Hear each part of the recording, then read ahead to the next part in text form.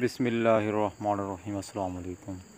आज हम गाय, भैंस, ये जब अपना बच्चा पैदा करते हैं तो उसका जो दूध होता है सराइकी में उसको आम ज़बान में नारा भी कहते हैं, क्लोस्ट्रीडियम कहते हैं उसको। यानी पहले दूध की बोली खोया कैसे बनाया जाता है, उसका मुकम्मल आपको तरीका बताएँगे। बड़ा ज़बरदस्त होता है ये। और आज हम आपको बताएँगे खुश्क तरीके से उसको कैसे तैयार किया जाता है। बड़ी ज़बरदस्त होती है, इसमें अहम चीज़ें कुछ खुश्क में वजात भी होंगे, बाकी चीनी, बस सिंपल ये चीज़ें हैं। लेकिन इसमें अहम चीज़ ये होती है कि ये पहला और दूसरा जो दूध होता है ना, इन दोनों को मिलाकर बनाया जा सकता है, फिर उसके बाद नहीं बनता ये। ज़्यादातर पहले दूध से बनाया जाता है, क्योंकि वो गाढ़ा होता है। अब सिंपल सिंपल इसमें चीज़ें बादाम को आपने कूट लेना है, बादाम को ज़्यादा भी बरीक नहीं करना, दरमियान उसके पीसेस कर लेने हैं, और उसके बाद बाकी जो मिसाला जाते हैं, उसमें गर्री जो है, कोकोनट उसको कद्दूकश कर लें, वो बेहतरीन बन जाती है।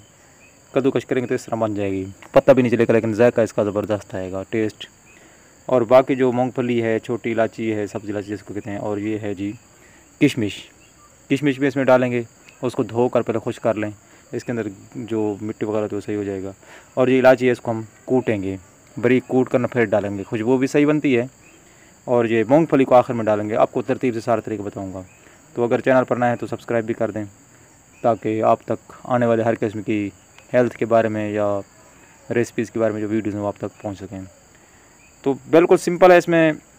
ये मिसाल आ जाता उसके बाद तेल हैं, तेल भी बड़े अहम होते हैं। ये भी इसका टेस्ट भी अच्छा बनाते हैं, और वैसे भी ताकतवर होते हैं बड़े। ये भी इसमें लाजमी डालने हैं आपने। अब तकरीबन हमारे पास चार किलो ये दूध था। इसमें हमने ये मेवा जात डालें। आप जितने डालें, आपकी मर्ज़ी, और भी मज़ीद मिक्स करना चाहें तो वो कर सकते हैं। लेकिन पानी नहीं डालना दूध में आपने बिल्कुल ही। दूध को छान लें। छानने के बाद आपने क्या करना है? ये इलाचों को पहले कूट कर, ये मिसाला जाता हमने, यानी जो मेवा है, उनको तैयार करके रखा हुआ है, ताकि ये हमारे लिए आसानी हो जाए। और दूध जो है, उसको हमने अब चूल्हे पर खड़ा कर देना है। फुल लाँच देनी है, शुरू में फुल लाँच देनी है। और हिलाते रहना है, सबसे अहम चीज़ है हिलाना। अगर आप हिलाना छोड़ देंगे तो ये ख़राब हो जाएगा। तो ज़ीरा वगैरह भी थोड़ा सा मकदार में पहले डाल लें, इसको हिलाते रहें अच्छे तरीके से। आँच शुरू में अच्छी खासी रखनी है। हिलाना बिल्कुल नहीं है इसको छोड़ना। टाइम लगेगा जितना भी, लेकिन हिलाएँगे नहीं तो फिर ये चिमट जाएगा, नीचे से जल जाएगा। हिलाते रहेंगे लगातार इसको। एक दो बंदों की ज़रूरत पड़ती है इसमें, लेकिन होता बड़ा ज़बरदस्त और ताकतवर है। इसको आप इस एक दो बनाएँगे तो देखने माशाल्लाह देखें, ऐसे ऐसे गाढ़ा हो गया है। अब आँच को हल्का कर देना है, अब तेज़ नहीं करना बिल्कुल, नहीं तो नीचे से लगना शुरू हो जाता है। और जैसे इसकी खुशबू आना शुरू होगी, फिर हम इसको उतार लेंगे, फिर मेवाजात वगैरह कुछ पहले शामिल करेंगे, कुछ बाद में शामिल करेंगे। हिलाना लाजमी है। अगर आपने ना हिलाया तो नीचे से लग जाएगा। आँच हल्की रखनी है। आप देखें, माशाल्लाह, ऐसा ऐसा इसमें थोड़ा सा घी भी डालते होते हैं। जैसे थोड़ा सा ये बर्तन से अलग होना शुरू हो जाए ना तो इसमें थोड़ा सा घी डालें। घी ज़्यादा नहीं डालना, ये भी ध्यान में रखना है। वो मकदार के हिसाब से है। अच्छे तरीके से हर तरफ़ से इसको हिलाएँ। नीचे से ख़ास तौर पर पेंदे से हिलाना है इसको, ताकि लग ना जाए। जैसे इस तरह बन जाए इसको आप उतार लें, माशाल्लाह देखिए आप इसमें मेवा जात शामिल कर देंगे। बादाम हमने पहले शामिल कर लिए। उसके बाद ये छोटी इलायची जो है, सब्ज़ी इलायची, इसको कूटा था। वो छिलके समेत मैंने इसमें डाल दिए। फिर अच्छे तरीके से मिक्स भी करते जाएँ। अब आँच बिल्कुल लो हो, बल्कि उतार के रख दें, जैसे ये बर्तन से अलग हो जाए। खुशबू आना शुरू हो जाए थोड़ा थोड़ा ब्राउन हो जाए।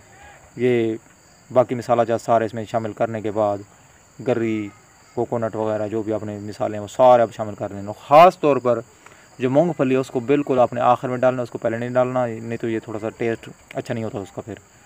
अच्छे तरीके से इसको हिलाएँ मिक्स करें हर सिमत से। और जो मिसाला जात बच्चे हुए हैं, वो भी सारे इसमें आप शामिल कर लेंगे। दोस्तों, बड़ी ज़बरदस्त है, ये आप एक दफ़ा बनाएँगे, बड़ा मज़ा आएगा। जो भैंस है, गाय है, वो साल में एक दफ़ा जो है वो बच्चा देती है तो इस तरीके से ये बना कर रखें आप इसको। सात आठ दिन आप गर्मियों में भी इस्तेमाल कर सकते हैं इसको, ख़राब नहीं होती। और सर्दियाँ हों तो और भी लंबे अरसे तक ये पड़ी रहती, महीना, दो महीने में पड़ी रहती, कहीं नहीं जाती। नहीं तो फ्रीज़र में रख दें। अब इसमें मूँगफली वगैरह आखिर में डालकर इसको अच्छे तरीके से ऊपर नीचे से चार चारों सीमा से आपने इसको अच्छे तरीके से हिलाना है।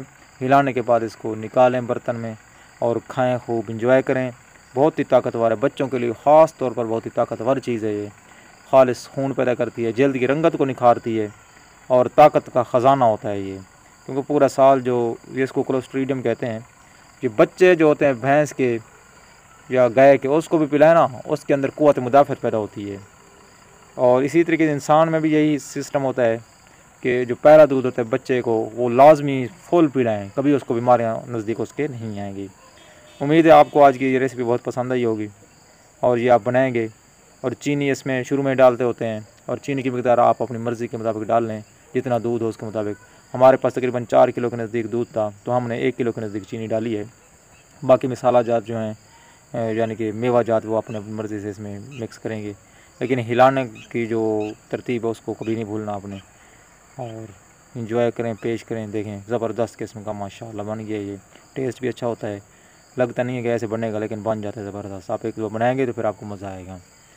उम्मीद है कि आप एक दफ़ा इसको लाजमी ट्राई करेंगे।